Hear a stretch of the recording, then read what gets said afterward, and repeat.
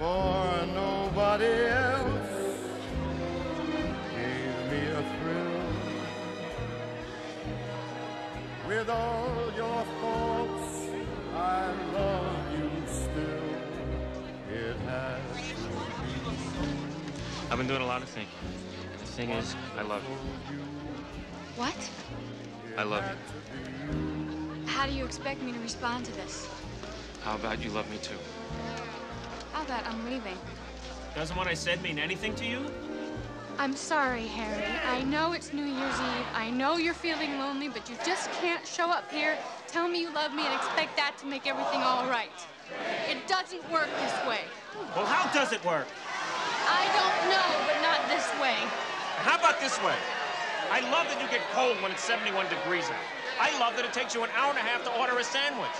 I love that you get a little crinkle above your nose when you're looking at me like I'm nuts. I love that after I spend a day with you, I can still smell your perfume on my clothes. And I love that you are the last person I want to talk to before I go to sleep at night. And it's not because I'm lonely, and it's not because it's New Year's Eve.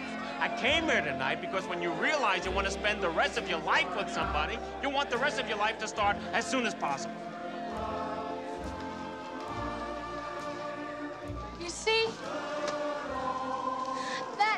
Just like you, Harry. You say things like that and you make it impossible for me to hate you. And I hate you, Harry.